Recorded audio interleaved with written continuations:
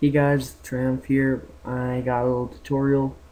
So, what I'm going to show you guys how to do is to make custom shapes using splines. So, here I have a model I made for Era, which my bro Weston's turning into an intro sometime soon. And if you like look closely, I have a bunch of custom shapes here. And I what I didn't do, I didn't pen tool them in Photoshop. I did this all in Cinema 4D. So I'm going to show you guys how to do that.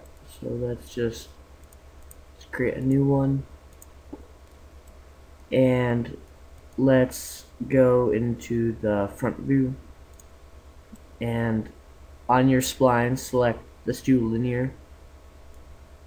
So if I want to make like a panel, let's say, I could just click click up here, right there, let's bring it down a bit. Let's make that straight.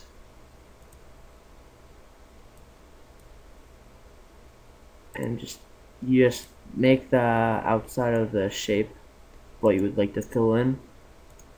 So there I have my spline.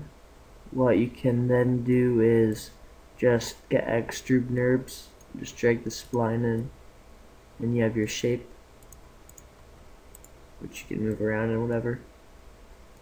Another thing you can do so let me check the spline out.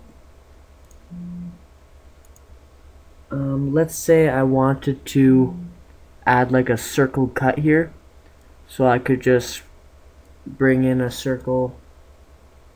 Let's make this smaller. So of the part of the circle that's overlapping, I could make it so that's like cut out.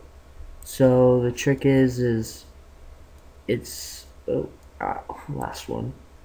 You select a spline mask, so just bring that in, drag both your splines in, and right now the spline mask is on A, like union B or A plus B, so it like combines them in a way.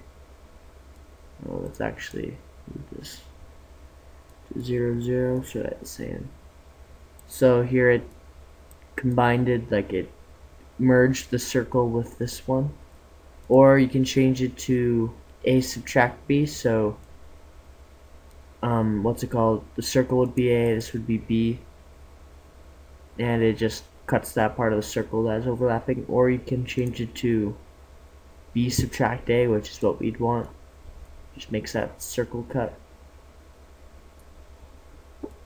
And then you can just get extrude NURBS and drag the spline mask in. And then you have your shape again with the circle cut out this time. That's just a little quick tutorial of how you can make custom shapes in Cinema 4D. Hope this helps you guys with some modeling.